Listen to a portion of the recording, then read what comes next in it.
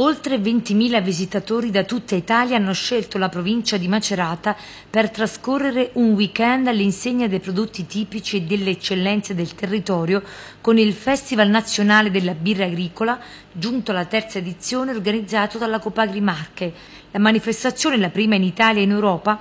si è svolta nell'ambito della quarta festa nazionale di Copagri Agricoltura in Festa.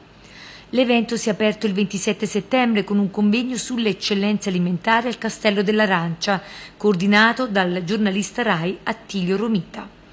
Agricoltura in Festa mira proprio a far conoscere le tante tipicità alimentari delle aziende agricole ai consumatori che sono sempre più curiosi e desiderosi di mangiare sano e genuino. Per noi è veramente una soddisfazione poter fare una vetrina per tutte le nostre aziende agricole che ogni giorno lavorano e sudano su questi prodotti, su queste eh, genuinità di, di, prodotti che loro fanno. E abbiamo così cominciato quasi per scherzo, un po' visionari e dopo 8-9 anni siamo invece riusciti a ingrandirci e a fare veramente un, un evento di, di, carattere nazionale. Per noi è veramente un vanto, poi la birra agricola sta veramente avendo appassionato tantissime persone e questo ci fa piacere, soprattutto tantissimi giovani, quindi c'è anche questa voglia di agricoltore che noi anche in questa occasione vogliamo coltivare. Ecco, cerchiamo di far coltivare anche questa voglia di agricoltura, ce n'è veramente bisogno. Una sfida di Copagri, quindi è quella anche di coinvolgere, guardando al settore agricolo, sempre di più i giovani? Sì, bisogna un attimino, sai, la nostra generazione, diciamo così, la nostra eh, età media per quanto riguarda l'impresa è un po' altina, c'è bisogno di un ricambio generazionale, questo non è facile, però tutte queste iniziative, tutte queste nuove eh, attività, queste diversificazioni può essere d'aiuto per poi fare anche questo cambio generazionale. Il futuro è questo, l'agricoltura può essere eh, eh, da traino veramente per un nuovo sviluppo economico, con sé, con il turismo, con la, cultura, con le tradizioni, con lo sport, con l'artigianato artistico. Secondo me se si cammina insieme con il territorio, secondo me c'è uno sviluppo economico eh, veramente con un potenziale grandissimo. Per anni Copagri Marche si è battuta per far conoscere la birra anche nell'ambito della produzione del settore primario. Grazie a Copagri Marche è stato approvato il decreto ministeriale numero 212-2010 che permette alle aziende agricole produttrici di orzo di creare birra considerandola un'attività agricola a tutti gli effetti, una sfida che è partita proprio dalle Marche e che ora è una realtà per tutta l'Italia. Noi continuiamo a puntare sulla birra agricola non tanto perché è la soluzione a tutti i problemi dell'agricoltura ma perché è una conquista che abbiamo fatto noi agricoltori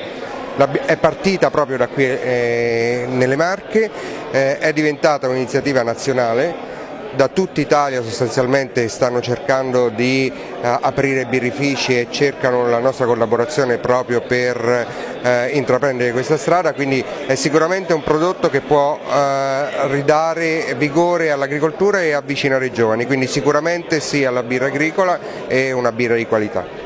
Si è parlato oggi di eccellenze e di qualità, come riuscire a tutelarle? Sì, eh, ci vuole un impegno da parte di tutti, parte, sicuramente una disponibilità da parte degli agricoltori a mettersi insieme e quindi fare massa ma soprattutto collaborare perché non è che eh, il problema dato solo esclusivamente dalle istituzioni che non investono poi molto nel settore agricolo se non con i fondi europei ma è anche dato a volte dalla difficoltà degli soggetti a mettersi insieme e quindi fare massa critica e aggredire il mercato. Il 28 e 29 settembre la festa si è spostata al centro congressi di Abbadia di Fiastra con il Festival della birra agricola e la mostra mercato dei prodotti tipici artigianato rurale giunta all'edizione numero 8. Erano presenti 11 birrifici esclusivamente agricoli, nonché oltre 60 stand di prodotti agricoli e di artigianato rurale. La manifestazione all'insegna del bel vivere ha proposto anche convegni, incontri, laboratori del gusto per bambini, momenti enogastronomici, spettacoli e tantissima birra di qualità, che nasce dall'orzo e da un curato processo di fermentazione in azienda agricola. La manifestazione gode del patrocinio del Ministero Politiche Agricole e Forestali della Comunità Europea, della Regione Marche, provincia di Macerata, Camera di Commercio, Presenti delegazioni provenienti da ogni regione e tutti i vertici nazionali della Copagri a cominciare dal presidente Franco Verrascina. Noi abbiamo solo da puntare sulla qualità che c'è nel nostro paese, che c'è in questa realtà, che c'è in questa regione, sulla sicurezza alimentare che i produttori agricoli forniscono su tutti i prodotti e poi sul produrre di più. Dobbiamo uscire dalla logica che ha chiuso l'Europa in questi ultimi anni di contingentare le produzioni, oggi bisogna essere competitivi, accettare la sfida della competitività e la sfida della competitività sul, a livello mondiale la si accetta solo, non solo con, sulla qualità e sulla sicurezza ma anche sulla produttività. Agricoltura in festa, eh, tanti motivi per festeggiare o in un momento così difficile siete un po' preoccupati? No, le preoccupazioni ci sono sempre, però dobbiamo uscire dalla, dalla, dalla disperazione, dalla depressione, dobbiamo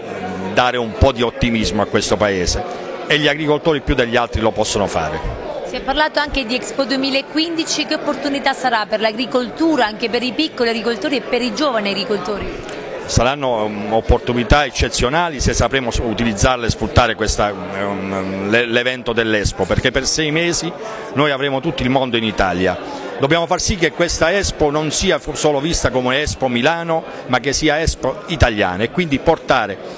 questi, bar, questi, questi venditori, questi, portarli sul nostro territorio, fargli conoscere i nostri prodotti, ma insieme al prodotto la storia che sta dietro a quel prodotto, la cultura che sta dietro a quel prodotto, perché questo ci differenzia dagli altri paesi. Una domanda sul luogo, ci troviamo alla festa nazionale ma siamo nelle Marche, Tolentino, Urbisaglia, insomma Badia di Fiastra, eh, perché? Perché noi abbiamo scelto questa location quattro anni fa, ci è piaciuta, ehm, siamo in campagna, siamo in mezzo alla campagna, in, in un'agricoltura che non è né povera né ricca, è la nostra agricoltura e quindi continueremo a mantenere questa location. Da questi tre giorni quale sfida potrà venire fuori, quale messaggio per eh, l'agricoltura e la Confederazione dei produttori agricoli? Dicevo prima, un messaggio di ottimismo ma anche del cercare di fare squadra, di fare squadra fra tutti i soggetti che fanno parte del, della filiera. Io non parlo mai di accorciare la filiera, io, io, dico sempre mettiamo insieme tutti i soggetti della filiera, gli interessi degli uni devono essere gli interessi degli altri, se riusciamo a capire questo, non pensando che ci andiamo a prendere un qualcosa in più dall'industria o che l'industria possa prendere qualcosa in più da noi, beh credo che faremo gli interessi del nostro Paese e dei nostri agricoltori.